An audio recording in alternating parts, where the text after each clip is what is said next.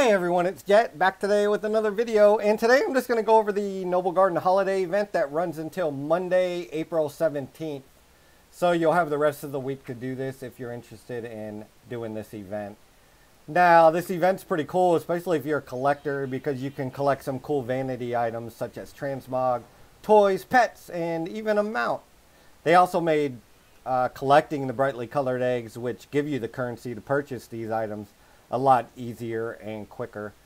If you're an achievement hunter, if you go into your achievement uh, book here and go to World Events and Noblegarden, you'll notice there's a handful of achievements that you can complete during this event. Now, most of these achievements are pretty straightforward, but if you have any questions about any of them, just leave a comment below and I will help you with them. Also, if you go into your adventure guide, you can um, collect 450 traveler log points towards your monthly trading post price. So go to holiday events in there and then just look for the Noblegarden activities and see what you have to do to get those points. Now, if you go to any capital city, you'll notice a NPC will have a quest that they offer you.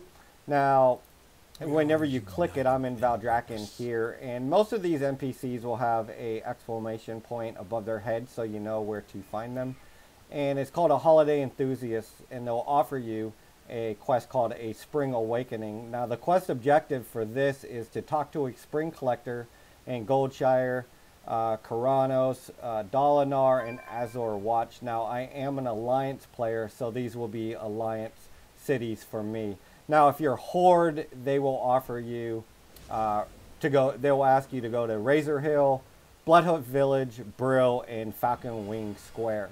Now, Falconwing Square for the Horde is where a lot of Horde players think is the best place to do this event, and for Alliance Azure Watch. Me personally, since I'm, I usually just go to Goldshire because I'm familiar with that area.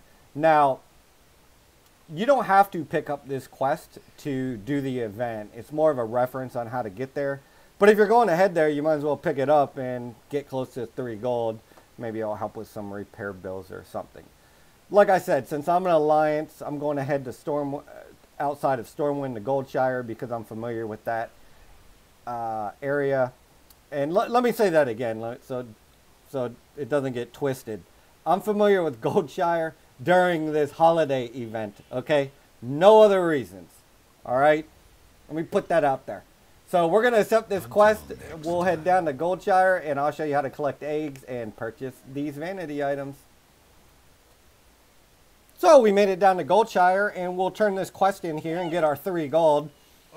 And you'll notice you'll have a daily here every day and you'll have a another quest when you come down here from the Noblegarden vendor.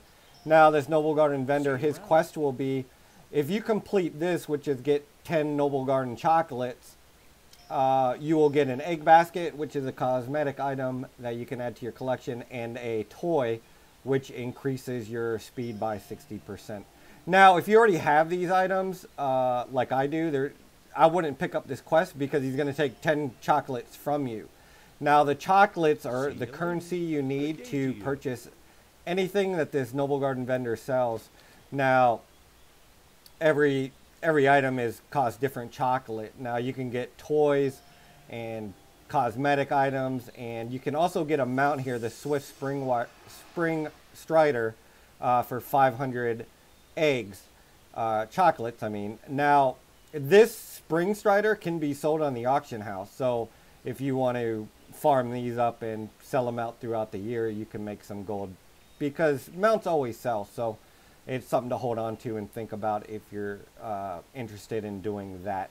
Now, the only new item that was added in in this event this year is the Drake's big basket of eggs, is what we're going to go for, which is 200 eggs, which is not going to take long. As you can see, I already have 199 uh, that I farmed up, which took me probably less than 30 minutes, to be completely honest.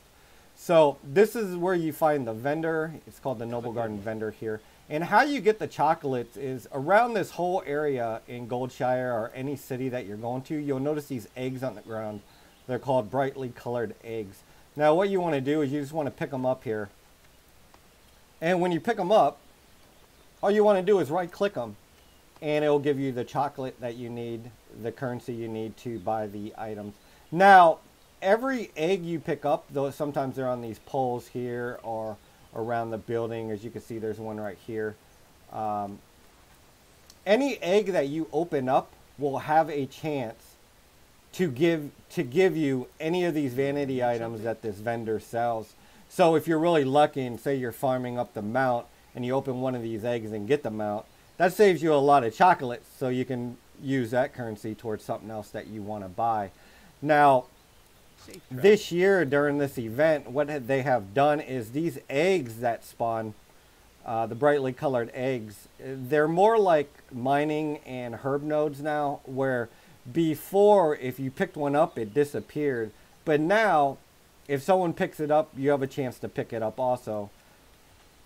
I do also want to state that, especially for an achievement, is sometimes when you pick up these eggs, you have a chance to turn into a bunny, which will increase your your chances of uh, and your speed and, and, and stuff like that so you can move around a lot quicker. Me being a druid, I just usually fly around and pick up eggs like this which uh, make it pretty easy. Also, this toy that you get if you do this uh, here, this Egger basket will increase your speed by 60%. So, that's some of the changes they made here. So we'll open these. And we'll purchase our toy here, the Drake ba Big Basket of Eggs. And I'll show you exactly what, what that does here uh, shortly uh, when we get back into Valdrakken. But that's basically the event and what you do. So the best the best advice I can give you is you, if you're going to farm these eggs, is you really want to come during off hours. But now with the changes of the spawn rate and everything, um, it's pretty quick even to do it during during high tide. You know, like during during a lot of when a lot of people are down here because the spawn rates are pretty quick and the ability to pick them up after someone else did is is really high now. So what we'll do now is we'll go back to Valdrakken and I'll show you what that new toy looks like. So we made it back to Valdrakken, uh, Valdrakken. So we'll use our our Drake big basket of eggs here. Let's see what it does exactly.